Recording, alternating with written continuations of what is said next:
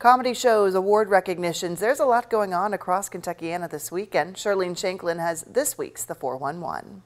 Good afternoon. Let's see what's happening in this week's The 411. If you're looking for a good laugh this weekend, we have multiple choices. Tonight at the Louisville Palace is Cary Elwes. Tickets start at $30. The show will begin at 8 p.m. No cameras, audio, or video of any kind is permitted.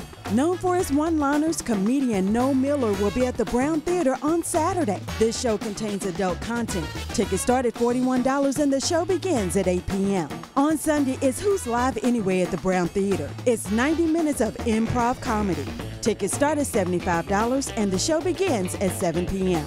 You also have the Breaking Barrier Spotlight Awards tonight, hosted by the Metro Disability Coalition at the Rudd Heart and Lung Center at 6 p.m. It's Shakespeare's A Midsummer's Night Dream on Saturday at the Bicentennial Park in New Albany. For a list of events, go to WHAS11.com. That does it for this week's The 411. Have a good weekend. I'm Charlene Shanklin for WHAS 11 News on your side.